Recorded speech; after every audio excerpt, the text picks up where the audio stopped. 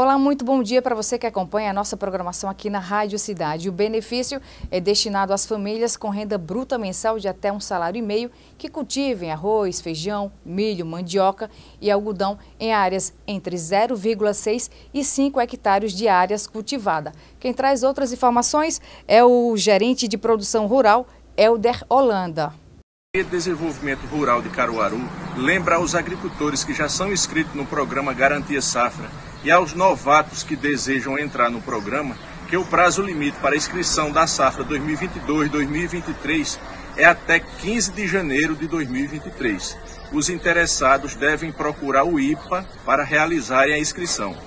As culturas que o programa cobre, que são cultivadas aqui no nosso município, é milho, feijão, mandioca e algodão. Os agricultores que têm renda familiar até um salário e meio e que cultiva áreas de terra de 0,6 a 5 hectares têm direito a adentrar o programa.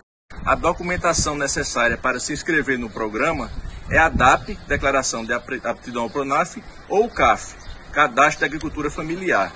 E outro documento também exigido é o NIS, os agricultores que tiverem essa documentação procurem o IPA para efetuar essa inscrição.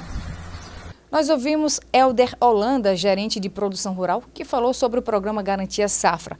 Lembrando que a inscrição termina no dia 15 de janeiro do ano que vem e pode ser realizada no IPA. Bel Pereira, Rádio Cidade. Todo mundo ouve, todo mundo vê.